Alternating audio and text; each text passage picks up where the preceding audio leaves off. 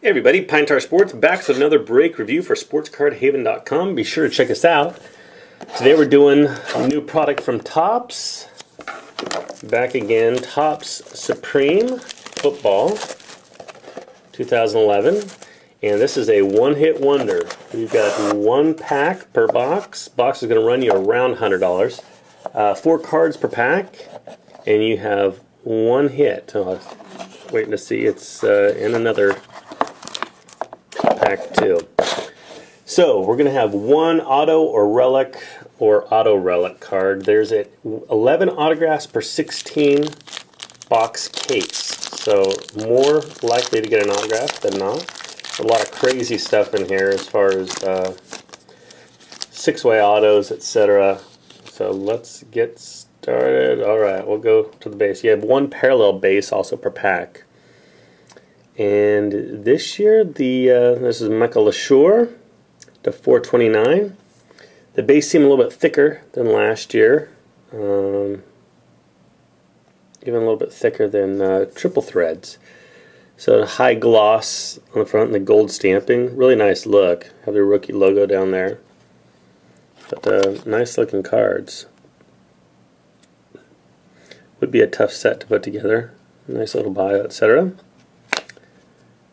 And we have uh, Shane Vereen, rookie, to 429 as well. So a couple of rookies, not bad. I'll pull it from the back for the Lions hot box thus far.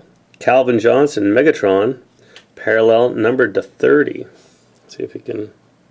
There you go, numbered to 30. And here's our big hit. It's a rookie, and it's a 49er.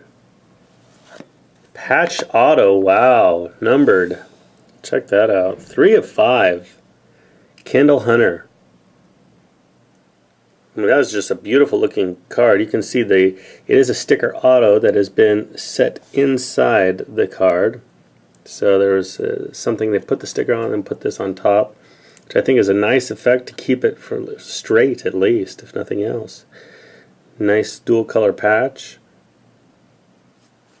Would be cool to see him on card, of course, as always, but uh, not bad. Not bad at all. Rookie Patch Auto. So again, be sure to uh, check out the written review and scan at uh, sportscardhaven.com. Link is in the info box below. Um, as well as find us on Facebook, Twitter, and subscribe here on YouTube.